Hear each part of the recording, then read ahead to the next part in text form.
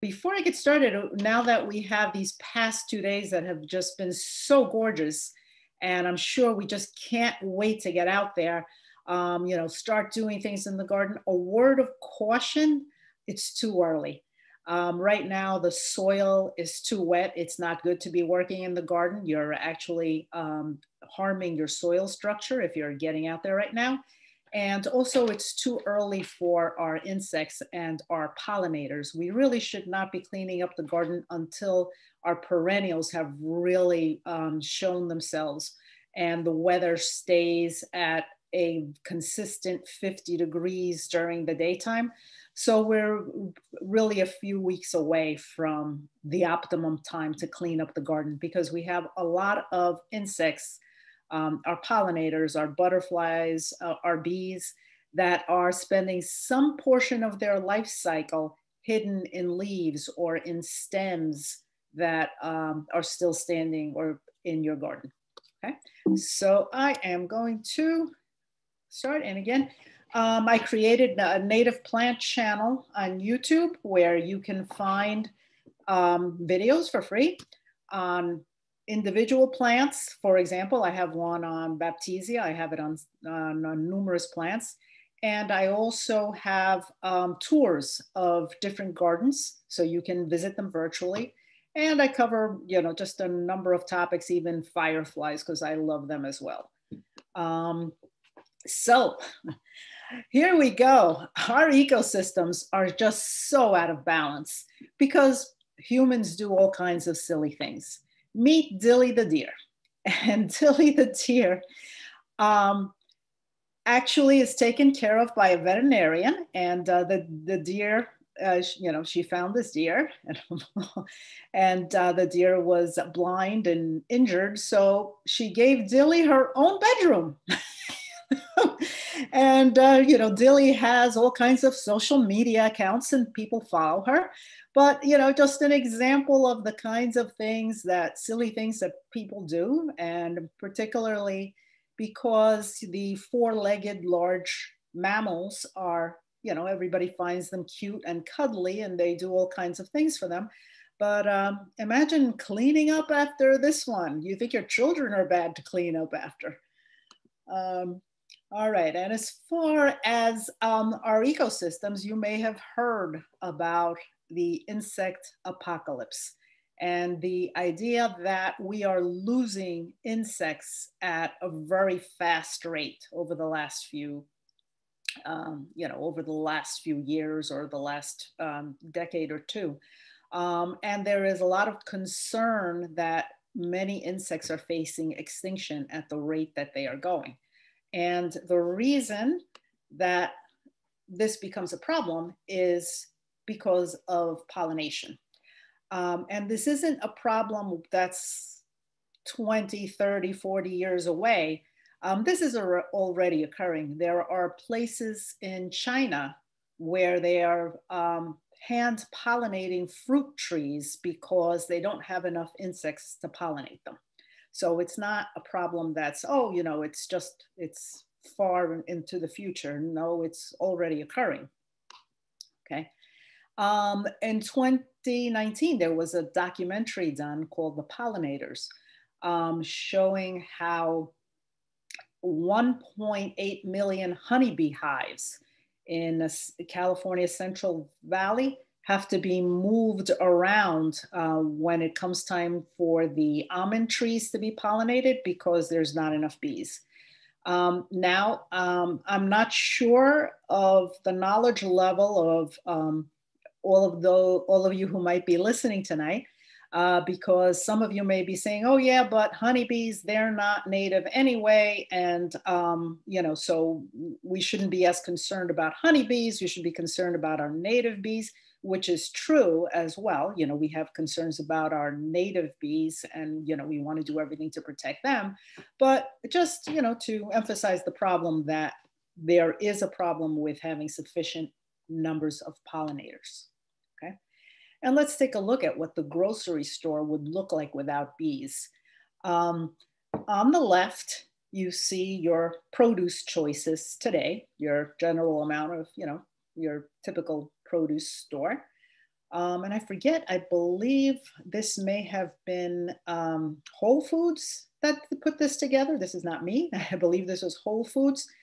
And on the right, you see what your produce section would look like without bees.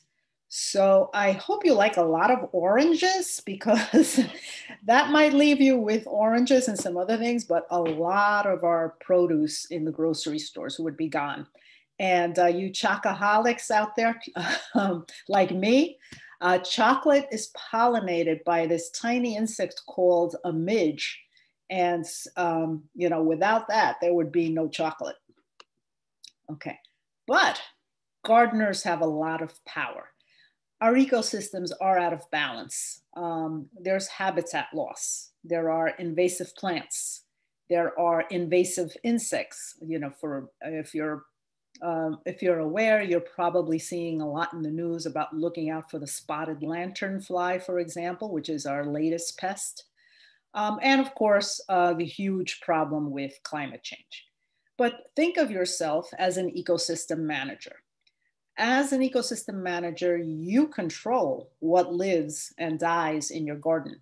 So you can help our native forms, such as our native bees, our native plants, by becoming informed and by um, you know planting them in your garden where you can create an entire ecosystems we can't change huge areas but our gardens can provide habitats and influence others to provide a refuge for insects and birds as well um, and as you learn how to do things you can teach others as well and then your neighbors can follow in your footsteps okay so why use natives?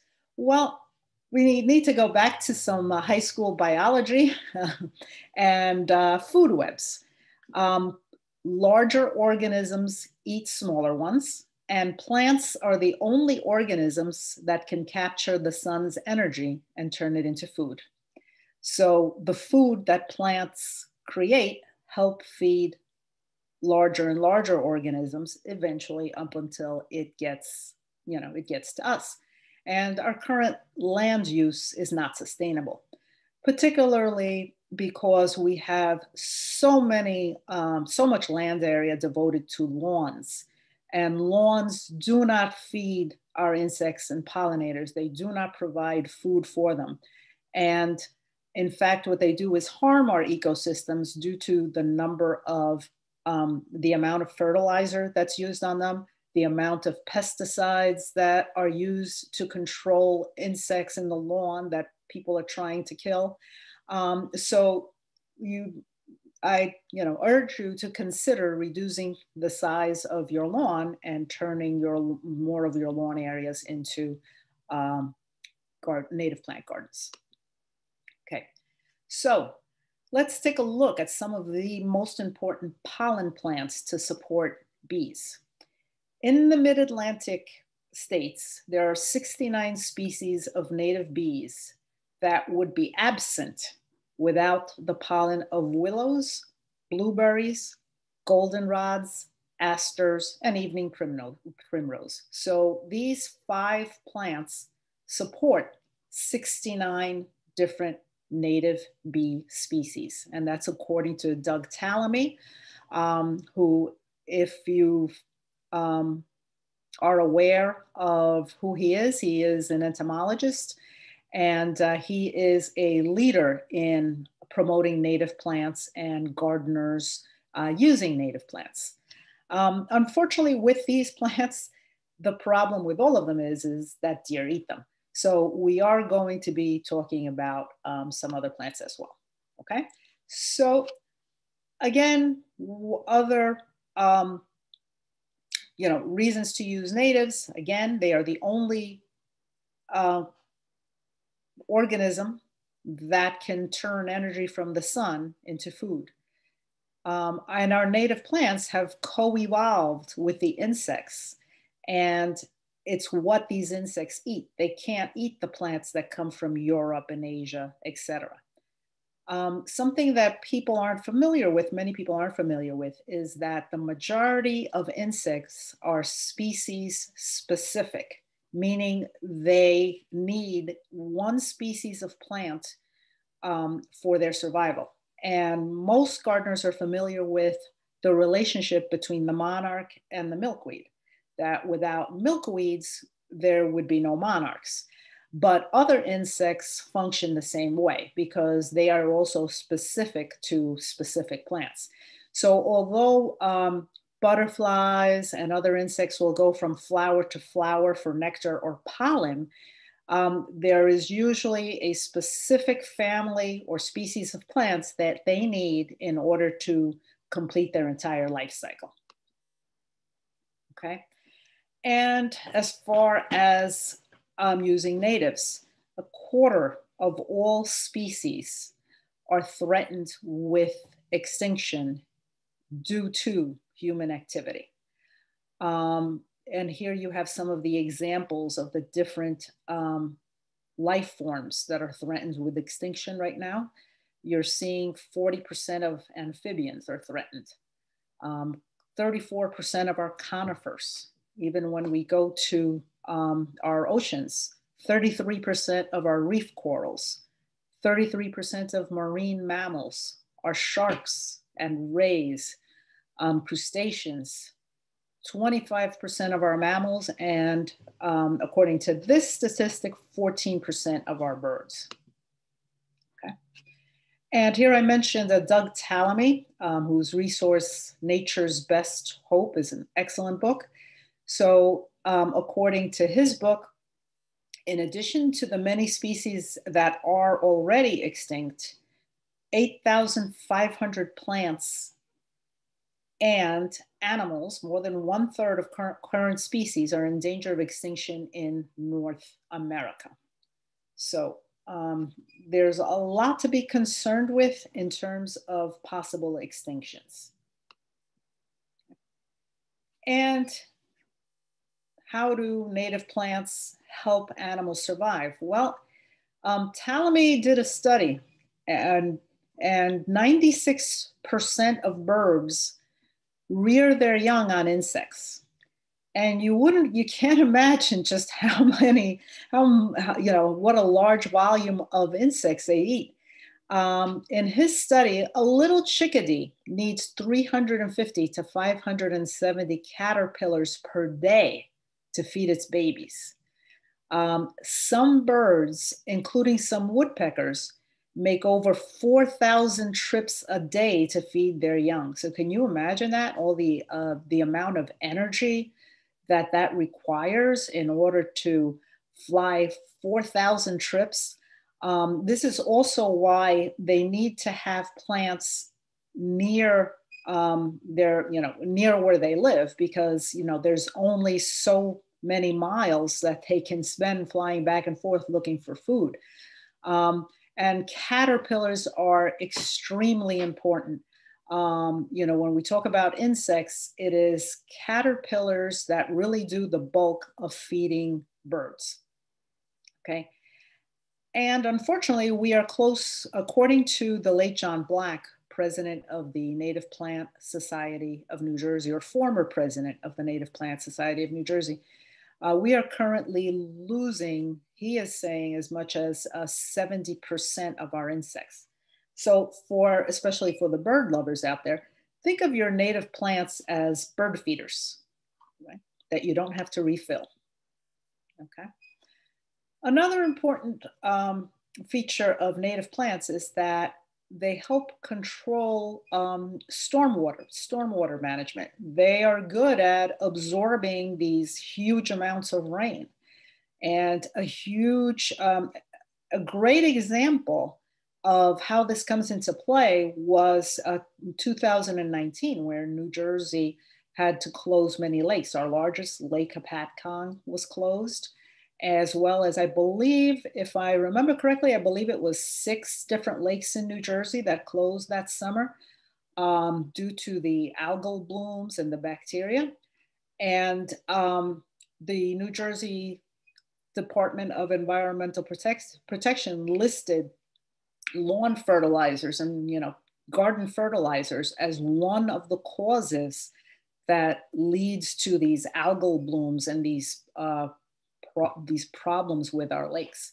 So native plants, number one, they don't use fertilizers. You don't need to fertilize them. You don't need to spend money on fertilizing them, time on fertilizing them.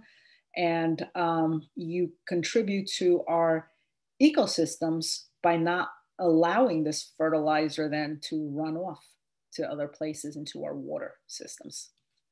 Okay, so let's talk about what exactly is a native plant. And in general, it is a plant growing in a specific location before European exploration. And um, in terms of, you know, people interpret that broadly. Like, for example, when we talk about a native plant, are we talking about a plant that grows anywhere in New Jersey? Or are we talking a plant about a plant that grows in only the specific area of New Jersey where you live? So there are different interpretations for that as well. And some people get more specific than others. Okay. Um, so exactly, you know, or are we talking about the Northeast?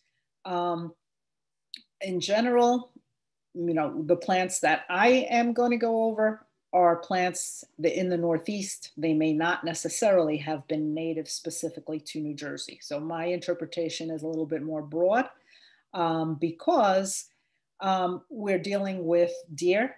And you know, if you look at only the plants that grew in New Jersey that deer don't eat, then you're you know, severely limiting your plant choices. And another controversy in the native plant community is should gardeners plant or use cultivars or what are referred to also as nativars or cultivar, cultivars of native plants. Um, and a cultivar is basically a clone. Um, a plant has been bred or is being used because it has a specific characteristic um, that is found uh, desirable. Um, it's, you know, some native plant enthusiasts um, are completely against using cultivars where some are saying, well, it kind of depends on the cultivar. Um, in general, you want to aim for diversity. And the best way to aim for diversity is to use plants that you can reproduce from seed that are not clones. Um, but let's take a look, you know, at some examples. Um, changing the color of a flower ap appears to have a negative effect in terms of um, its usefulness to pollinators. For example, changing the color of purple coneflower, which is usually pink if you're familiar with it, it's a pinkish color. If when you change it to the um, orange or the red or the yellow varieties, they seem to be less attractive to pollinators, okay? Um, usually, if the benefit that the cultivar provides is to make the plant more compact. Um, it appears to have the same value to pollinators. So it kind of depends on what the cultivar um, is being bred to do. If it changes the flower, again, it could have a very negative effect on pollinators if you're leaving the flower pretty much the same and you're just producing a more compact, shorter growing plant, um, it appears to have the same value to pollinators. And um, you can always tell cultivar because its name will, you know, it'll have a name like, uh, you know, uh, purple coneflower Echinacea magnus, um, and it'll be in like quotes okay? One thing that you want to consider is nativars with red leaves. You should not use them. If your goal is to attract uh, insects and pollinators, cultivars would, with red leaves are not a good choice. Um, research has found that the insects that need leaves um, to survive, to, which is most of them, you know, for example, caterpillars. Caterpillars munch on leaves um, research has shown that red leaves are not as attractive to them. Um, they have a harder time eating them. So you would want to avoid the cultivars or the nativars that have red leaves. And a popular one that is a native plant is nine bark, which is shown in this photo. And it's a lovely shrub, um, produces lovely flowers, does attract pollinators, but the ones with red leaves are not as useful. You, you know, you want your insects to eat the leaves. That's what you're doing is creating good habitat, good ecosystems. So um, having leaves that are eaten is a good thing. And um, research has found that it's usually that, you know, in general, because you know, some people think like, oh my God, but if they eat all the leaves and my plants are going to look terrible. Um, usually you're not going to even notice the, the damage. Um, some studies have found that um, leaves have to be eaten, that approximately 10% of a plant's leaves have to be damaged for a gardener to even notice that the plant is being eaten. Okay, so we want to grow natives, but we've got those deer running in our yards, right? And this is example of what my garden looks like in the spring after a winter and after the deer have been tracking through it. And you know, particularly here on the uh, left, you can see all the deer droppings that have been left behind. Uh, the only thing missing from this photo is that um, my husband, uh, one particular one, this really, this particular year when things were really bad, he decided to go out there with a shop vac to clean it all up. So that's what's missing from the photo is my husband with a shop vac cleaning it up. Um, so the problem is that deer have also co-evolved with our native plants and eat most of them. Um, New Jersey has about 2,700 native plants and the deer are gonna find almost all of them attractive. And we have an overabundant deer population. Biologists state that the sustainable levels of deer should be five to 15 individuals per square mile. New Jersey averages 112 per square mile, with some areas as high as 270. And uh, I wonder, well, how do you even figure this out, right? Do you send people out and start counting, you know, individually how many are out there? And uh, how it's done is um, drones are sent out with, I guess, some type of infrared camera to take photographs of areas. So the deer show up in, on these infrared uh, photographs and um, you're able to count them and see how many there are in particular areas. And that's how they figure it out. Okay. And the overabundant deer population, besides eating these native plants um, that we enjoy, what happens is they destroy the understory in our woods. Um, the lower growing plants, the, uh, the shrubs, the tree saplings, the trees that are trying to grow.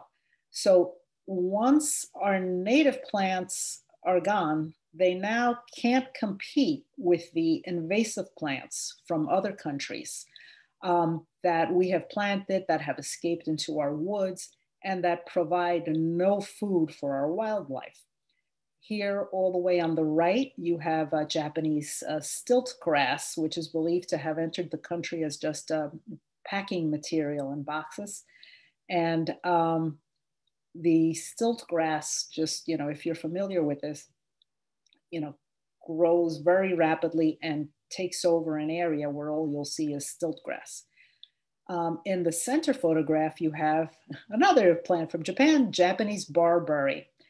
And um, this one is particularly tough because um, it has all those thorns. It's really quite a chore to get rid of it. And um, it is so widely sold in garden centers, particularly when a gardener comes in and says, you know, can you give me a shrub that the deer won't eat? They're going to recommend Japanese barberry. And it produces little berries that the birds eat, and then they spread all over in our woods. And then um, the barberry turns into these thickets of thorns in our woods that you can't walk through, as you see in the photo in the center, and which then, you know, will outcompete the native shrubs that should be there instead. Um, then these invasive plants destroy the lives of insects and birds that would rely on the native plants. Science magazine reports a loss of 3 billion birds, or 29% of North American birds, um, since 1970. Um, so we lose our insects, we lose our birds. Again, we have to remember that there is a food web and um, everything has its place in it, including the deer. But right now, we just have too many of them. Okay. And then before I get to the plants that you can use, um, I just want to mention some widely sold invasive plants that you should not plant. Um, they will escape into local woods. And you'll see these growing in places. And we have uh, some here Japanese barberry, which I've mentioned before, uh, winged burning bush or um, euonymus, which is you know a, a, shrub with this bright red fall color that's planted for that fall color escapes into our woods and shades out our native plants. You have um, Chinese and Japanese, or there's a typo there, Chinese and Japanese wisteria. Um, you can find that like even growing along the highway on uh, Route 3. Um, English ivy, which you see all over the place, um, that's a problem. And the very uh, popular Callery pear. So everybody looks at, you know, the the pears in springtime. And oh, how pretty. But those have escaped into woods, especially in central Jersey, and are causing a problem in central Jersey. And a plant that many of you are probably going to be very disappointed to see on this list is butterfly bush. Um, because butterfly bush, especially um, in areas um, near roadsides and drier areas, it has been found to be escaping into those areas and becoming a problem, an invasive problem. So that's one that's uh, more of uh, an up and coming one, which um, native plant societies and conservation groups recommend that gardeners do not use, do not plant. Okay. And I want to uh, full disclosure here, um, if you notice the photograph of my garden, I do have a butterfly bush in there. And, uh, you know, based on everything that I've been learning about it, I'm planning to pull mine out this spring and, uh, and replace that. Okay. Okay. So let's look at some plants that are often listed as deer resistant, but aren't.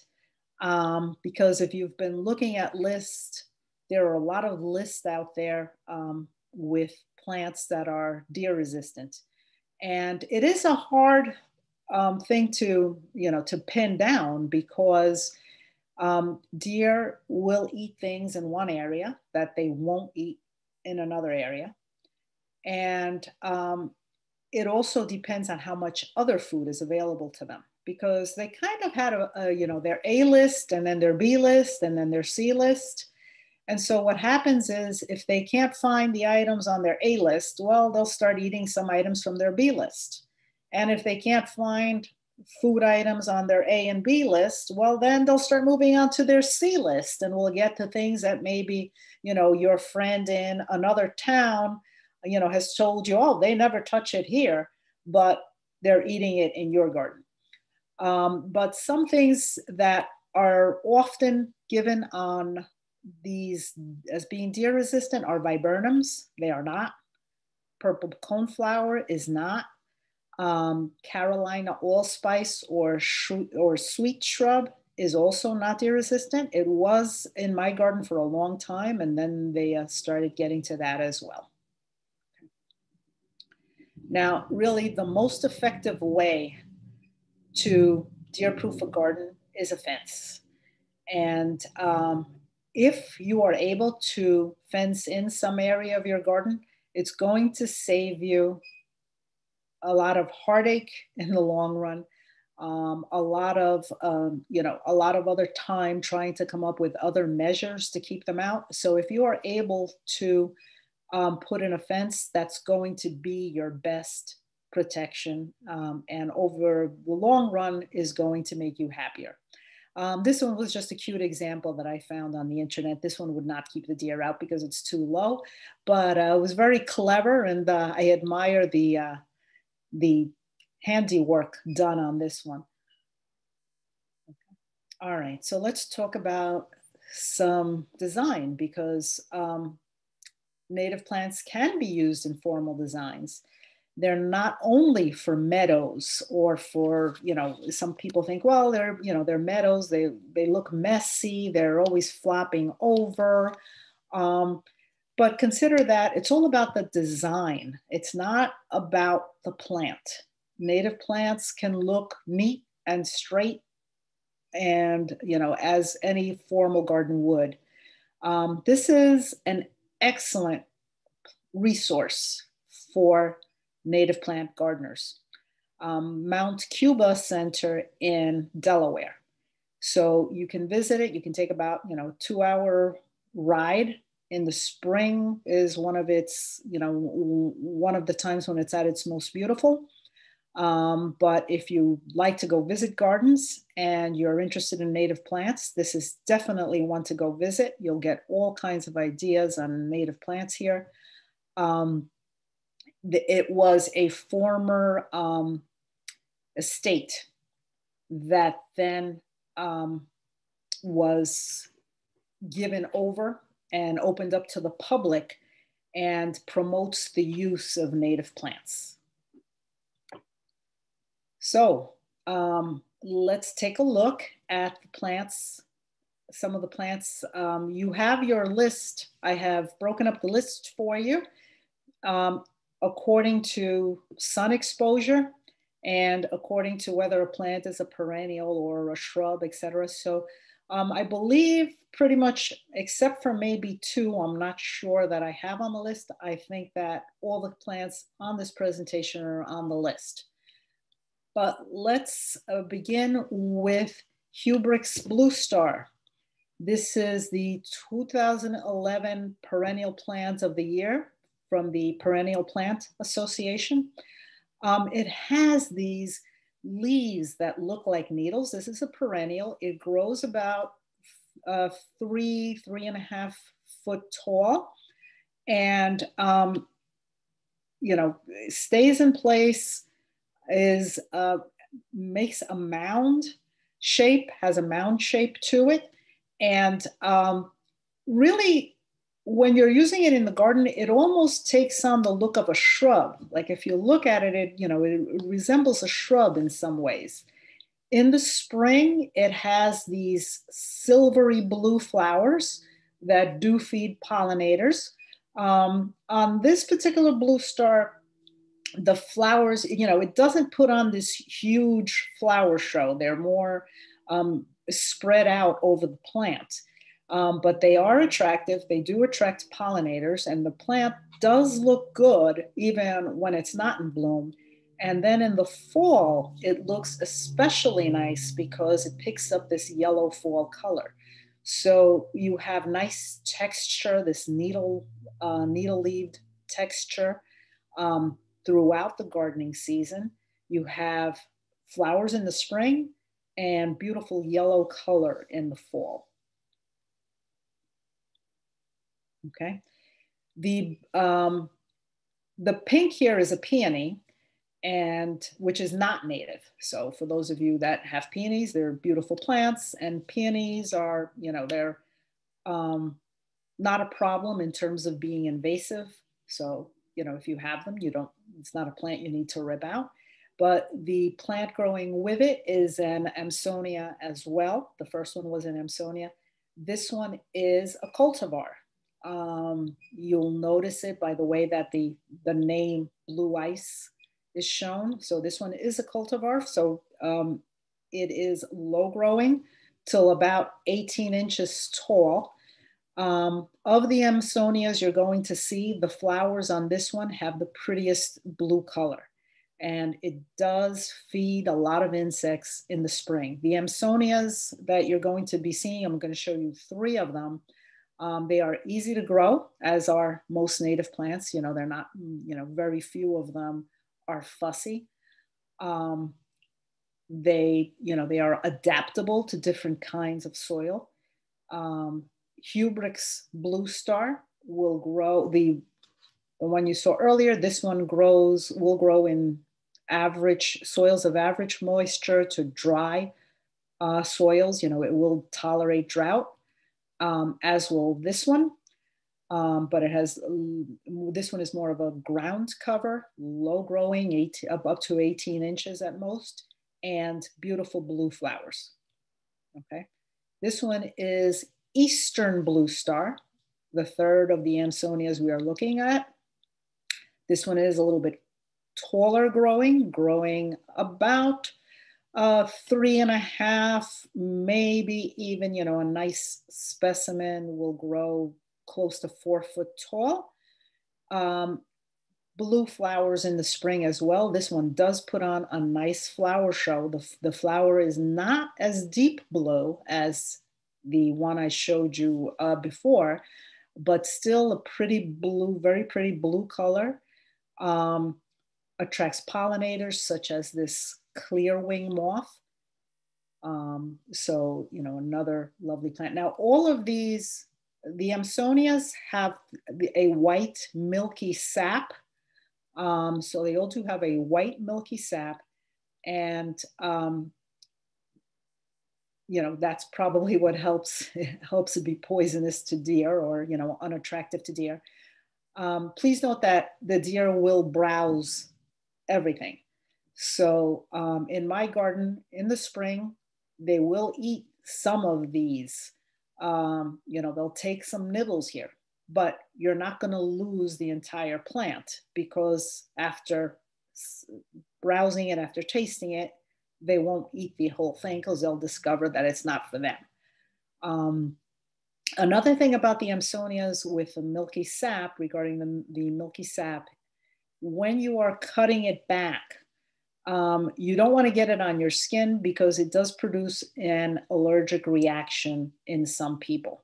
Um, so you want to be careful with that. Okay. And here we have another plant with the uh, milky sap, and that is swamp mil milkweed.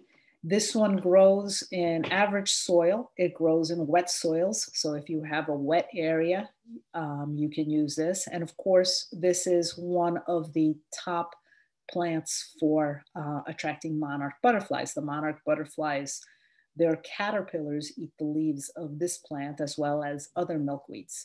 Um, it just has a lovely pink color.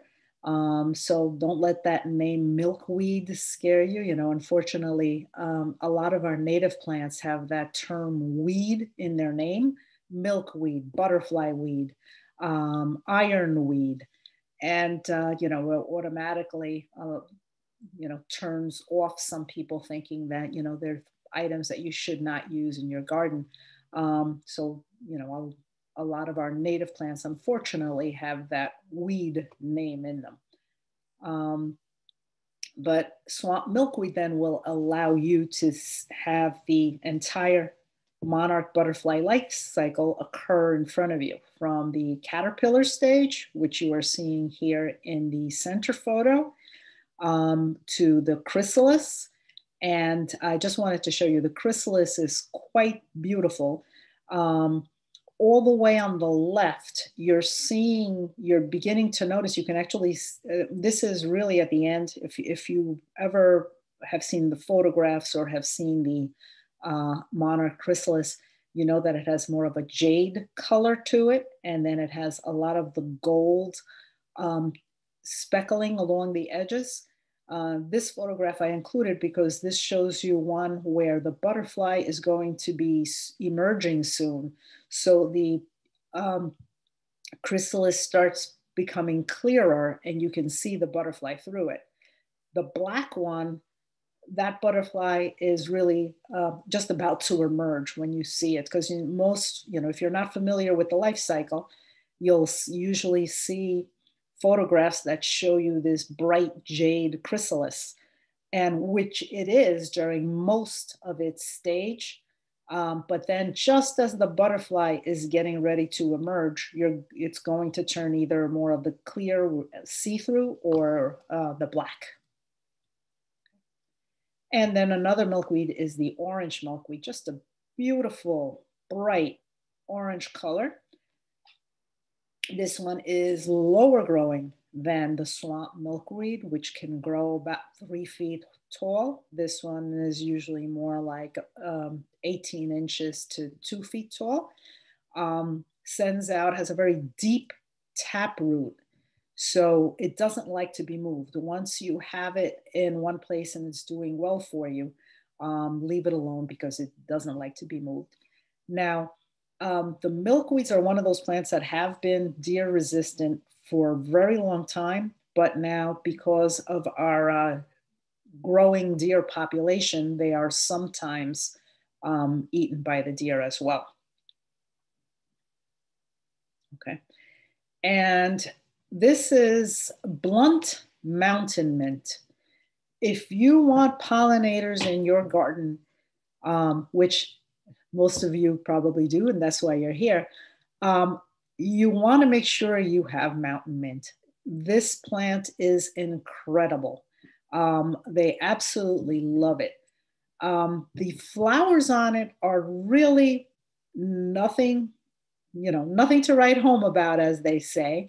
Um, in the photograph on the right, you'll see just a, the small ring of flowers in the center. They tend to be whitish or pinkish or, you know, a, you know, mostly white, but they have a little pink to them or a little lavender to them but you'll see them have these silvery bracts on the outside. So the leaves of the plant are green, but at the top surrounding the true flower, you have these silvery bracts that kind of have a dusted look, almost like a, um, the look of, a, of snow dusting on top.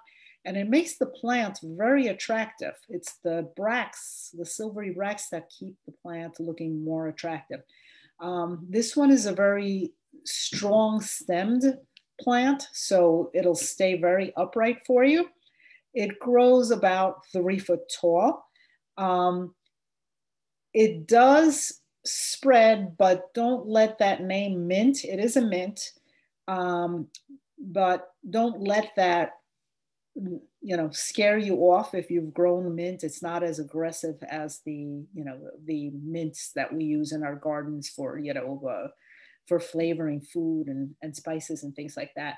Um, it's it is not as aggressive as those mints, um, and it's just I just want to see if let's see if this works. You can just see the insects buzzing all over and all kinds, um, from bees to these other insects that have metallic uh, colors to them.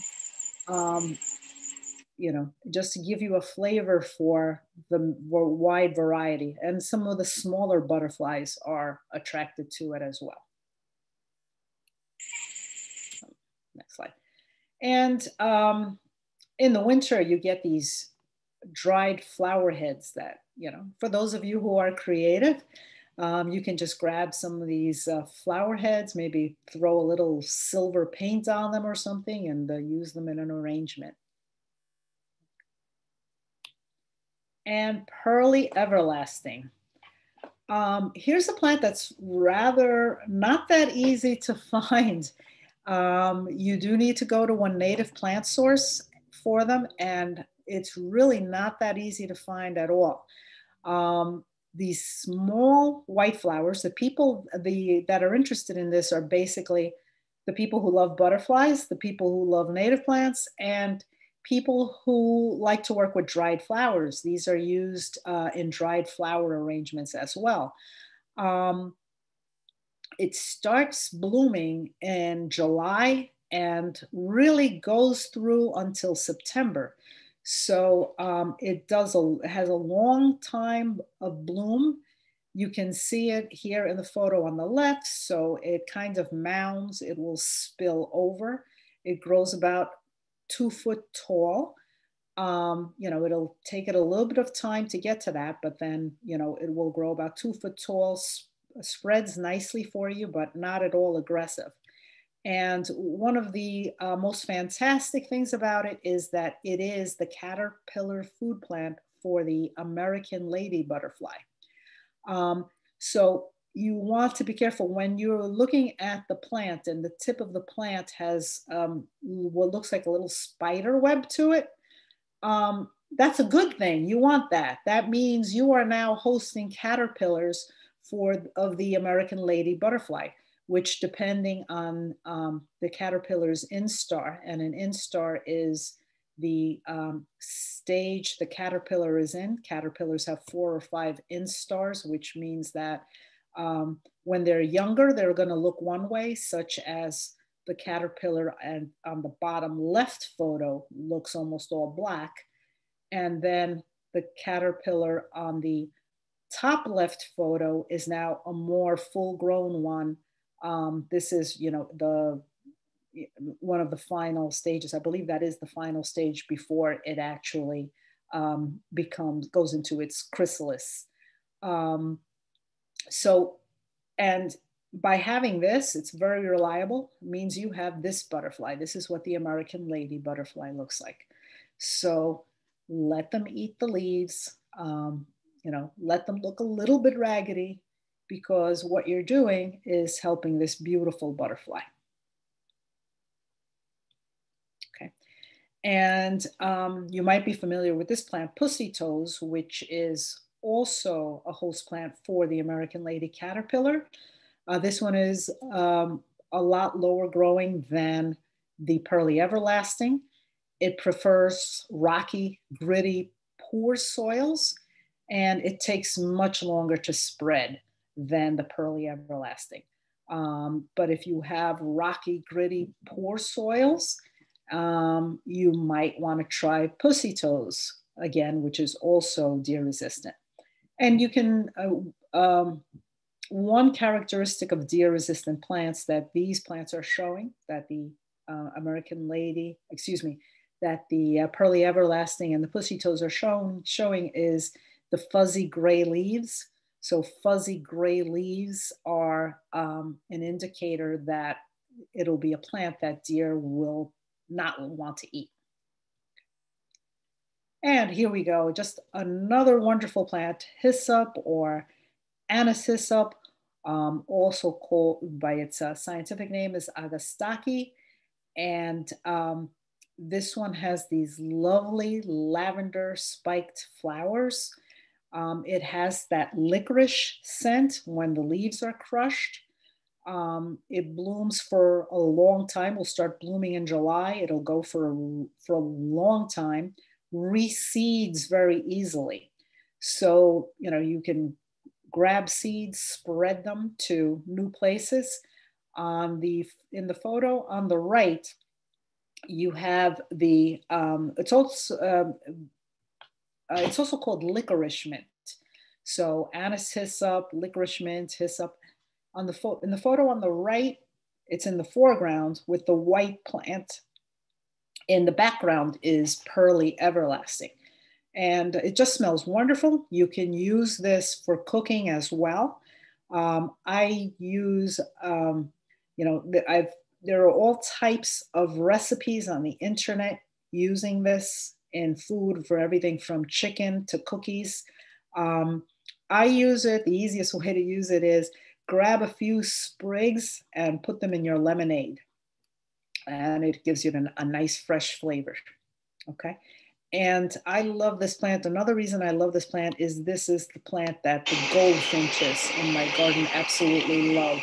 Um, so, you know, every summer I get to see the goldfinches come and eat the seeds. So once it goes to seed, they're out there um, eating the seeds. You can see the bees buzzing around as well. So just an excellent pollinator plant for bees.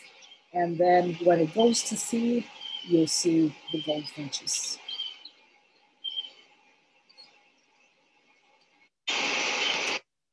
All right. And our next plant, blue wild indigo, also called false indigo, and uh, that's Baptisia. It is the 2010 perennial plant Association Perennial of the Year. In general, it's blue. Um, so um, it's called wild indigo because when you go back to colonial times, um, the dye that was used for blue to turn you know to turn clothing blue to turn fabric blue was in general indigo. Um, but then there came a time when it became scarce and this plant was used to color uh, as a it, was used as a blue dye unfortunately it was not as effective as indigo was in turning fabrics blue but uh, so it was called false indigo that's where that name comes from. Um, lovely plant. Now, uh, cultivars, you know, for those who are interested in them, the straight species is going to be blue. So this one is basically a straight species grown from seed. Um, it's a slow growing plant, so it will take a while for it to look this dense as this one does on the left. Um, very long uh, lasting plant. I think my plant that you see here is uh, 15 or more years old. So it will last a long time. Now, again, the when because this is a slow growing plant, you do have to protect it from the deer while it is young um, so that they won't get to it. And then once it's established, they'll come and take a few bites, but they will not eat the entire plant.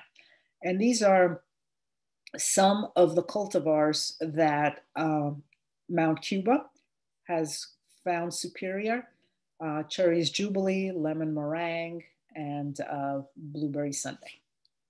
Okay, and it is the host plant for the wild indigo dusky wing, uh, which is a skipper, one of the um, butterfly relatives.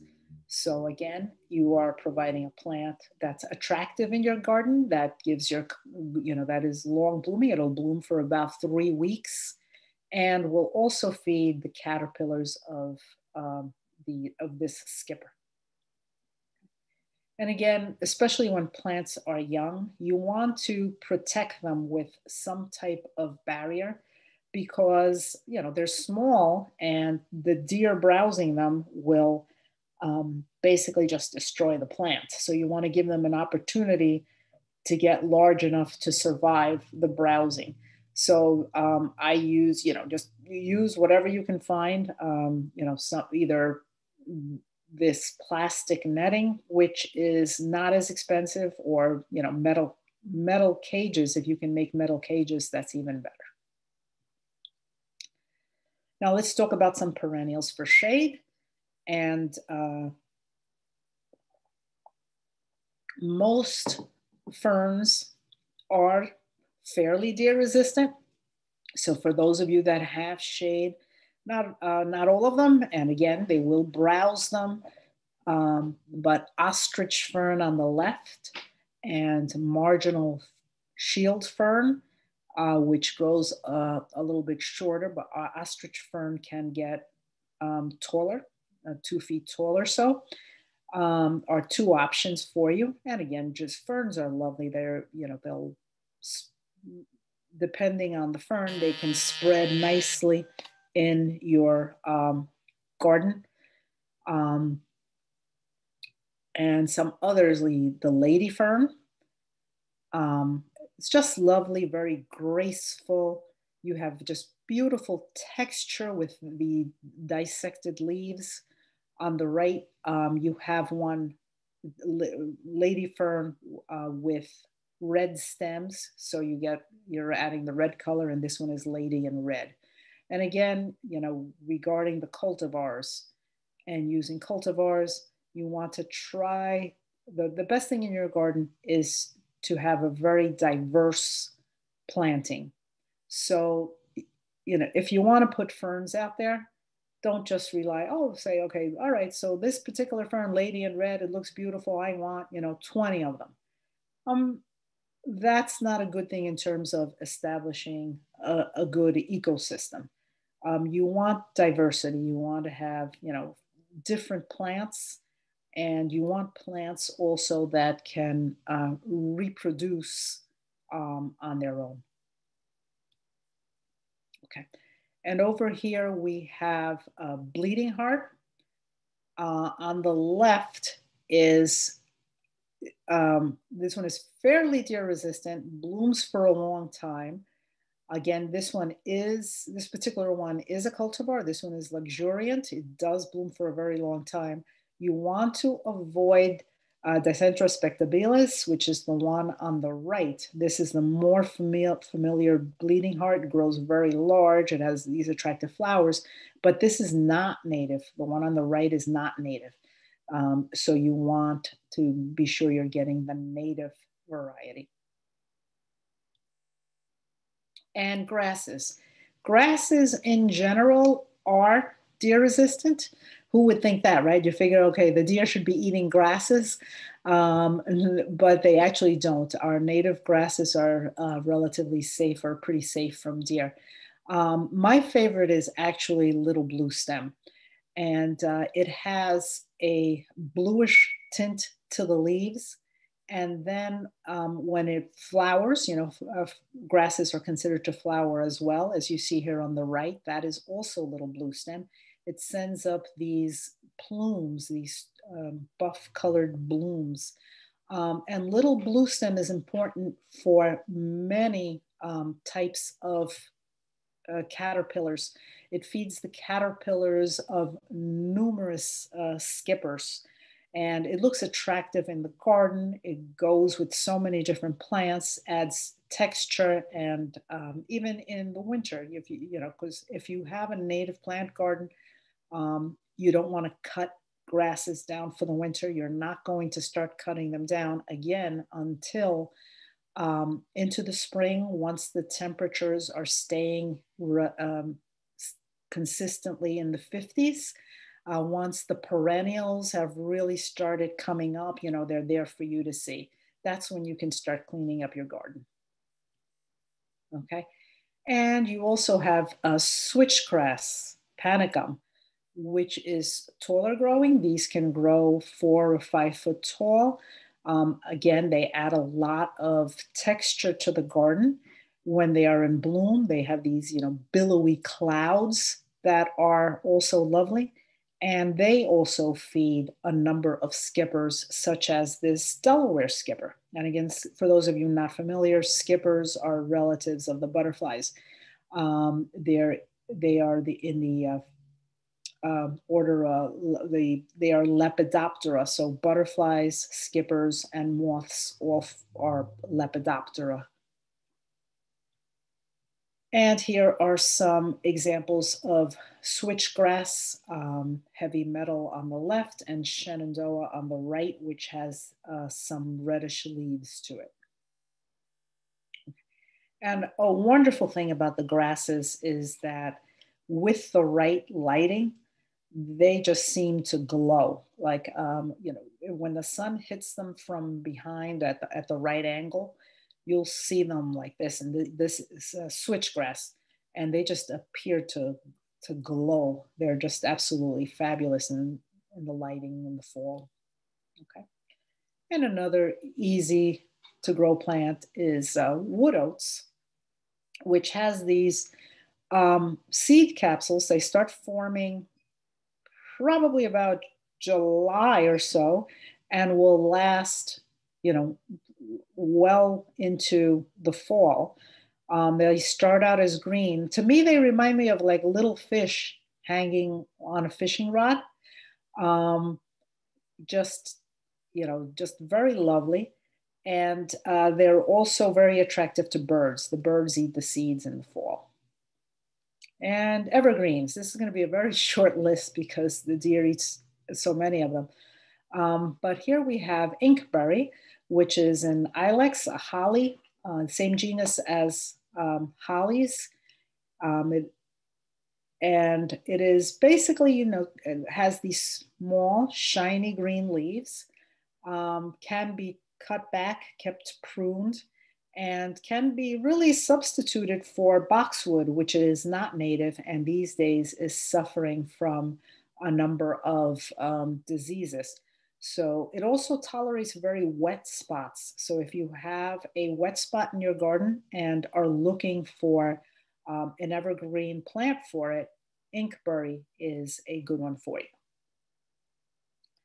And you have a dog hobble or leucothoe is another um, another shrub that you can use in your garden. In the spring, it has these bell-shaped flowers, and uh, it is um, pretty deer resistant. And again, there are different leucothoes. Some of them are not native, so you want to make sure that you get, you know, I, I'm not going to, you know, bore you with the Latin names, but you do have it on your list so that you know if you're getting a native one or not. Okay. And the last one here is called uh, lambkill or sheep laurel.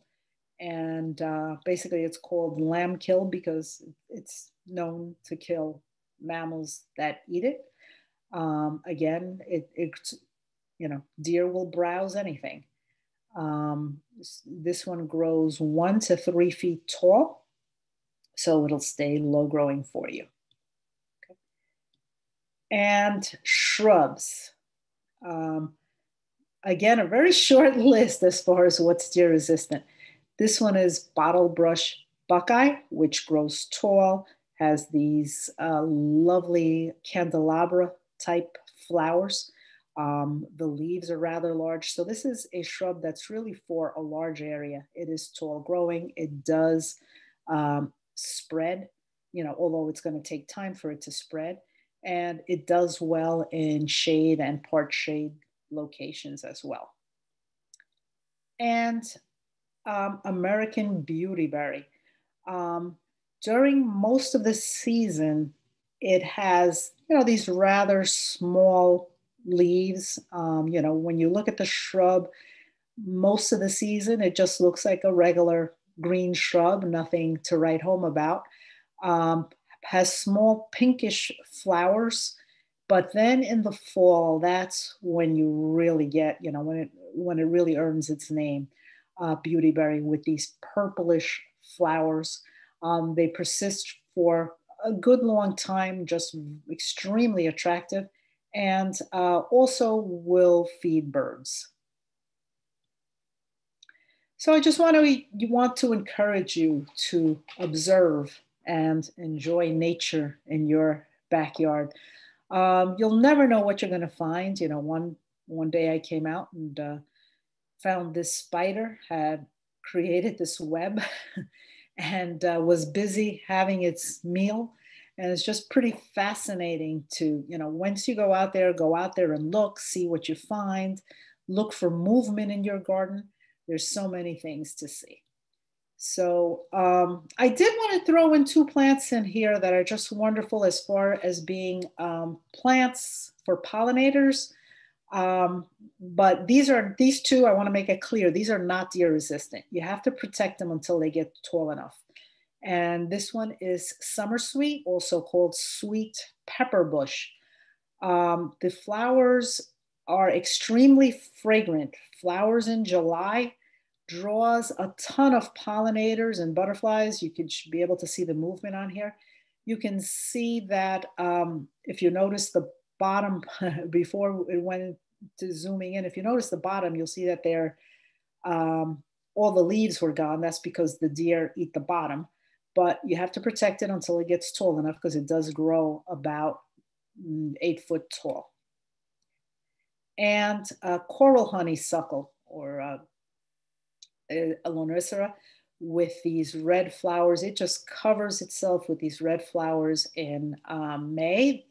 It looks like this, but the flowers will continue really into September or even longer, um, just not as heavily. They'll just, uh, you know, they, they won't appear as uh, dense as this one. And again, if you look at the bottom, the bottom is gone because the deer have eaten it.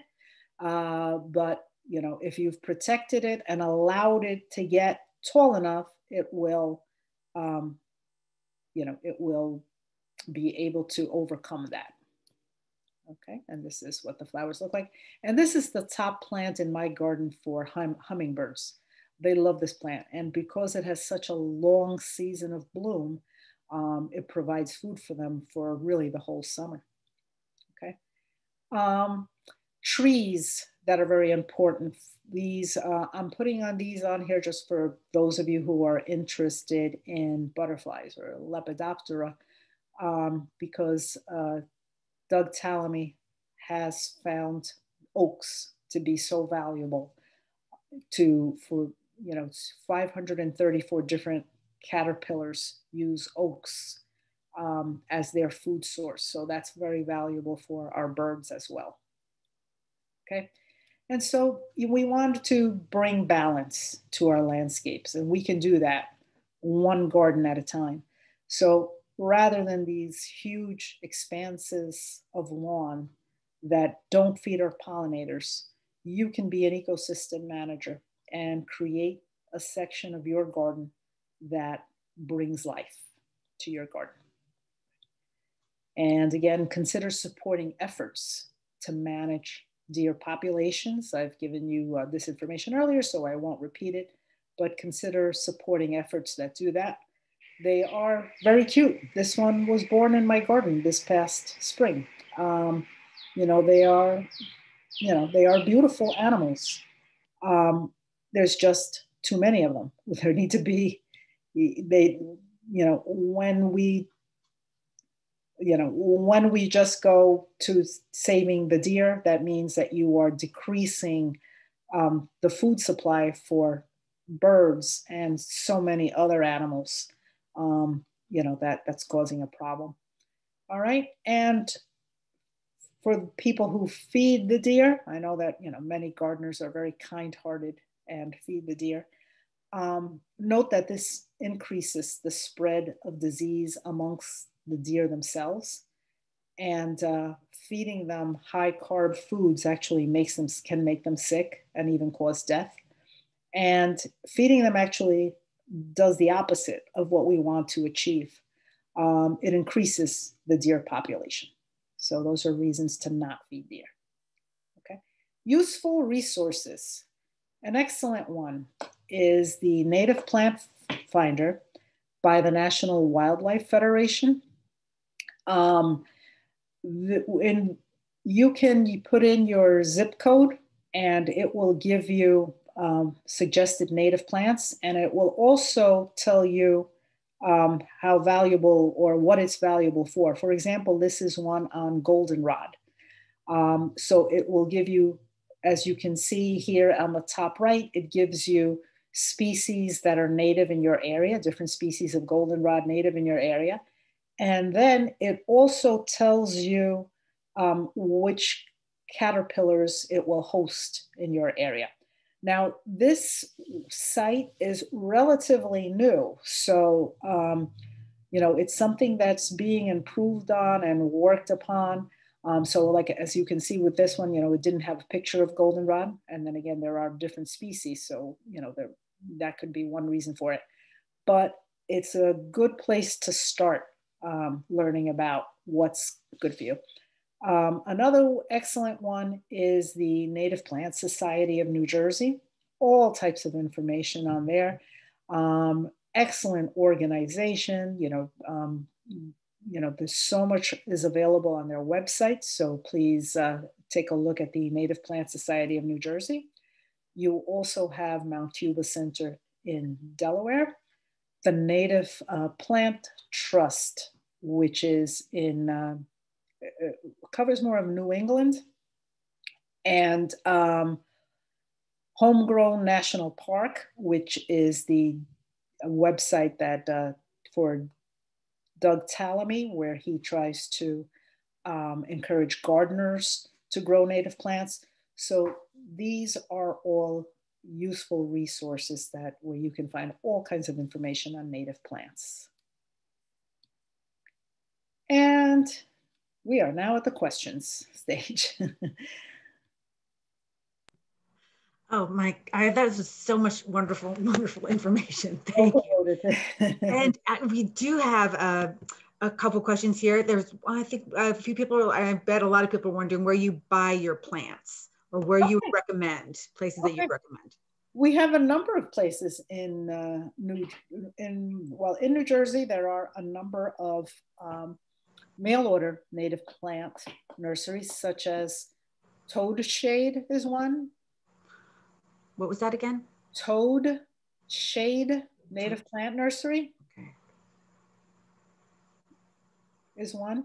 Wild Ridge is another. Um, Pollen Nation. That's very cute. Pollen Nation, yeah, yeah. Um, Wild Ridge, Pollen Um, there's one in, let's see, I forget if it's with Michigan or Wisconsin, um, which is a Prairie Moon. That's another one. Toad Shade and Wild Ridge are right in New Jersey. Um, Prairie Moon. And in Bergen County, um, Rohsler's up in Allendale, they they have a, a pretty good selection of native plants. I mean, they you know they they have a lot of things, of course, you know, um, native and non-native, but they do have a good variety of native plants as well. So Rohsler's and, and Allendale. And also usually in the springtime, I notice a lot of um, nonprofit organizations will be running their own native plant sales to benefit like Morgan Farm. I'm in Montclair, so I think about a lot of them happening out here, but yeah, there seem to be April seems to be April, May. Yes, they do. Yeah, Native Plant Society also has one. So the New Jersey Native Plant Society. Um, although they won't have one this spring. Um, actually, their, their spring one is kind of over. It was done um, mail order. Um, but um, a number of other organizations, even the Audubon Society has one as well. So you can look into New Jersey Audubon and they will also have native plants for sale in the spring. And let's see, there's another uh, question about uh, ferns. Um, no, no, about the uh, evergreens, not evergreens. Um, whether those were for the ones that you listed, whether they were for shade or sun. Um, they are mostly for sun or part shade, part shade to sun. Mm. Okay.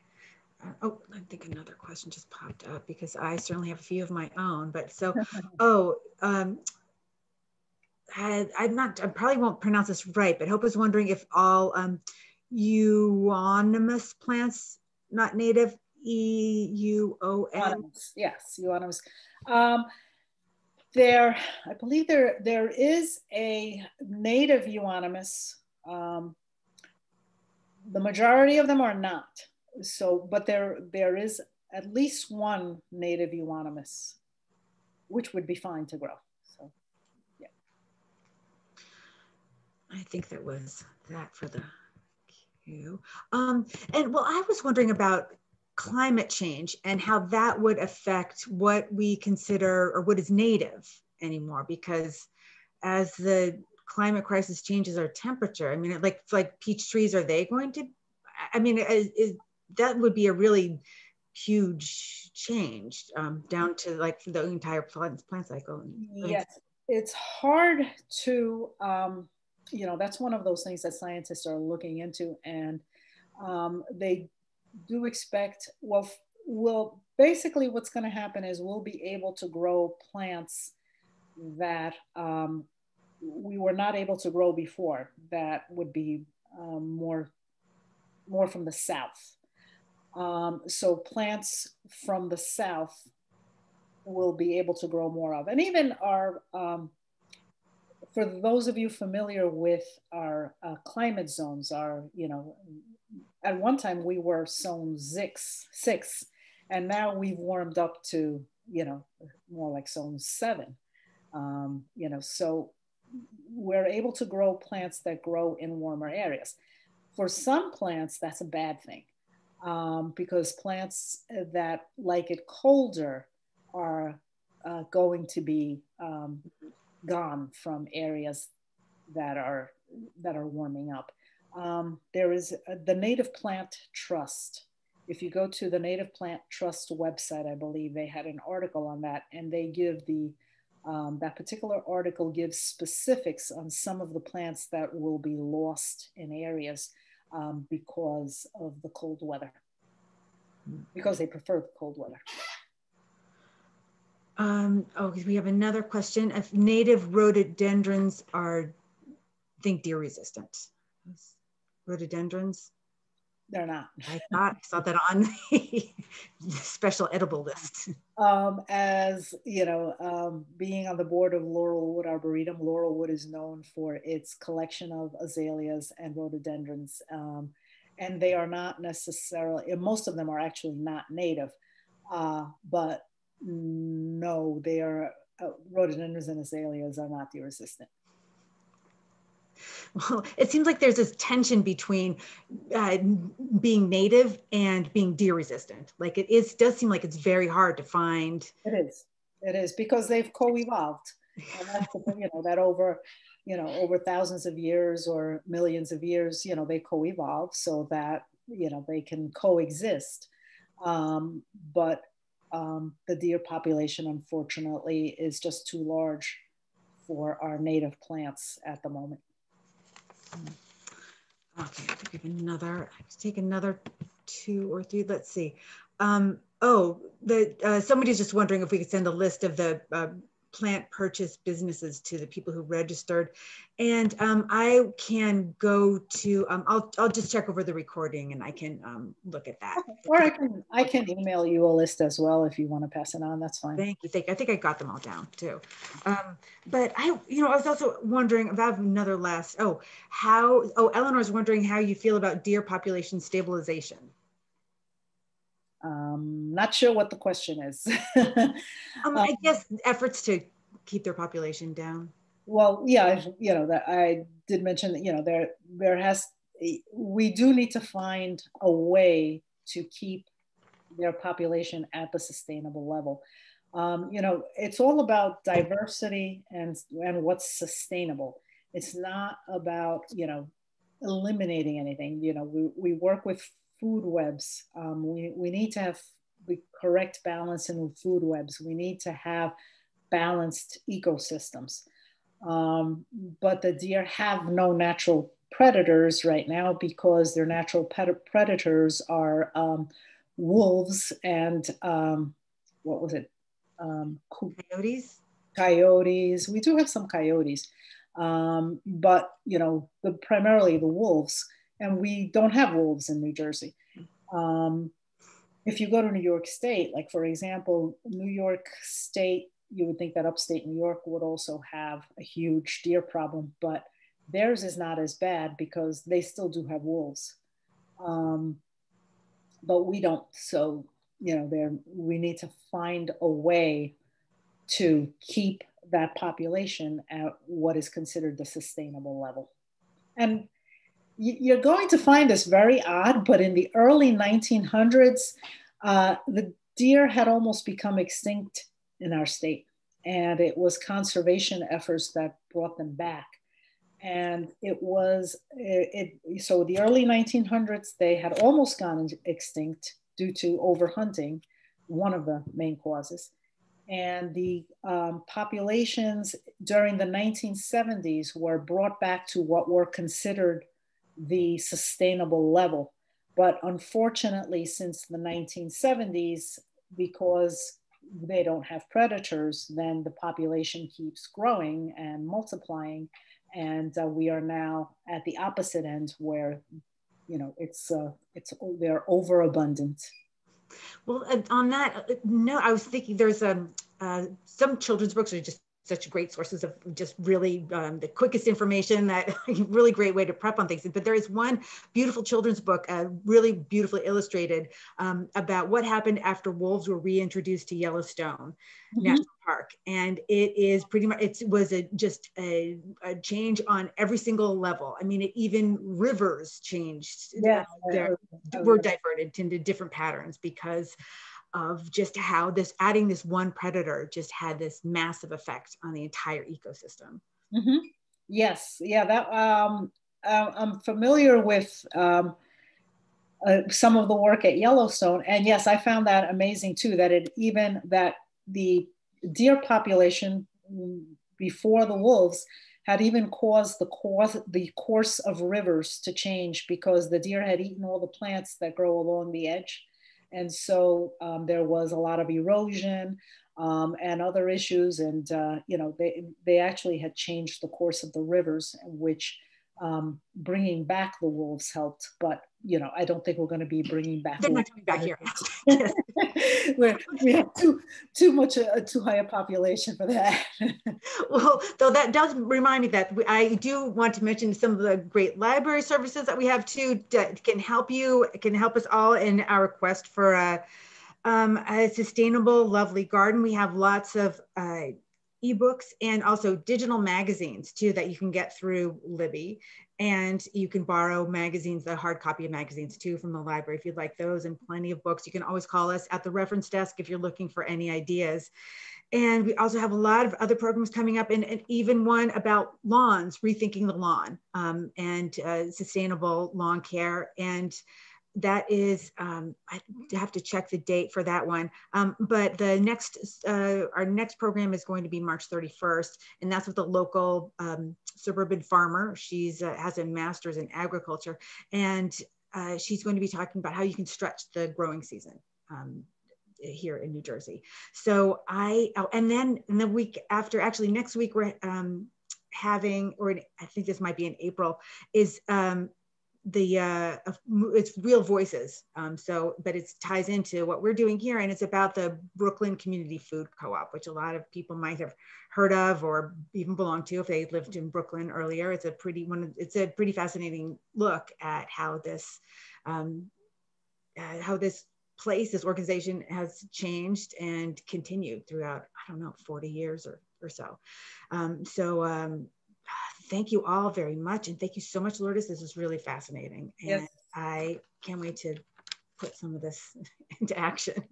Great. I thank you. Thank you, everybody, and have a great night. I hope, uh, you know, I hope that I was able to be of service to you and that there's a lot of information that you can use in your own garden. So have a great time garden. Thank you. Good night, Lourdes. Good night.